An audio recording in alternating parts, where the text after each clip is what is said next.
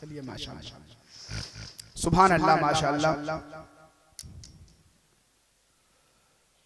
ढूंढ कर लाओ कहीं से उस पैगंबर का जवाब। एक तनहा मुस्तफ़ा है सारे महशर का जवाब। जरा झूम के कह दे अल्लाह बहुत अच्छा है माशाल्लाह। इकराम भाई एकदम वैसे ही छोड़ दीजिए। आप तीन चार फीट अलग नहीं हो जाइएगा। करीब रहिएगा तो कुछ न कुछ करते रहिएगा। इतना बढ़िया सेट हो गया एकदम छोड़ दीजिए। ढूंढ कर लाओ कहीं से उस पैगंबर का जवाब। एक तनहा मुस्तफ़ा है सारे महशर का जवाब। इसलिए सरकार ने उनको खिलाफत सौंप दी। अब एक शेर देखे उलमा इकराम के हवाले से।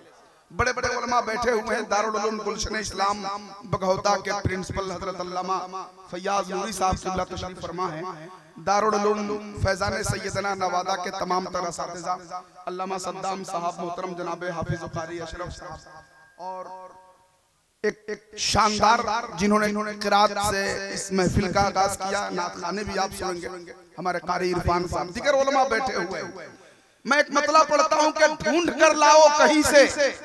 उस पैगंबर का जवाब, एक तनहा मुस्तफ़ा है।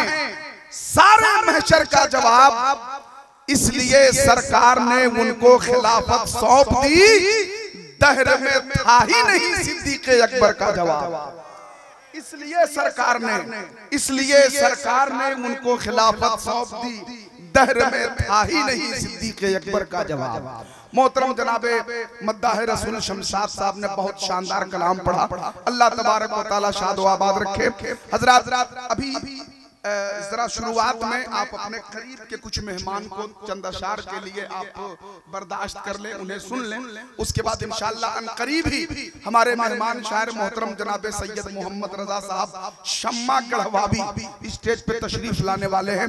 मोहतरम जनाबे नूरी समन व नूरी साहिबान जो मध्य प्रदेश से चलकर वैढ़न की सरजमीन से आपके दयार मोहब्बत में आए। हैं इंशाल्लाह वो जुड़वा शायरी का भी आप लुत्फ उठाएँगे। अभी इस वक्त ताखिर एक मतला दो शेर के लिए मोहतरम जनाबे कारी बरकतुल्लाह साहब से गुजारिश कर रहा हूँ कि वो माइक पे तशरीफ़ लाएँ।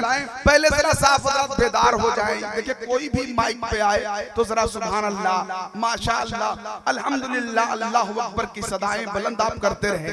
हज़रत उस्मान फरमाते हैं कि जब कोई मोमिन एक बार सुभान अल्लाह बोलता है तो अल्लाह के करम से उसकी जबान साफ़ हो जाती है। और जब उसकी जबान साफ़ हो जाती है तो धीरे धीरे उसका दिल भी साफ़ होने लगता है। तो हम ये चाहते हैं कि आज आपकी जबान भी साफ़ हो जाए और आपका दिल भी साफ़ हो जाए। तो दिल और जबान की सफ़ाई के लिए एक मरतबा जरा दोनों हाथों को फजाओं में लहरा के झूम के बोल दे सुबह अल्लाह अरे मोहब्बत के साथ नवादा की सरजमीन पे अगरचे जलसा में मैं पहली बार आया हूँ। लेकिन यहाँ के लोग और यहाँ की समाज से मैं मुकम्मल तरीके से वाकिफियत रखता हूँ। जरा झूम के बोलिए आप जिस टेबर में बोलते हैं। पूरा मजमा झूम के कह दे सुबह और मैं अपने मोहतरम उलमाए कराम से भी गुजारिश करूँगा कि एक मरतबा आप भी झूम के कह दे सुबह हाँ बस इसी अंदाज में बैठे। कारी बरकतुल्लाह साहब माइक पे तशरीफ़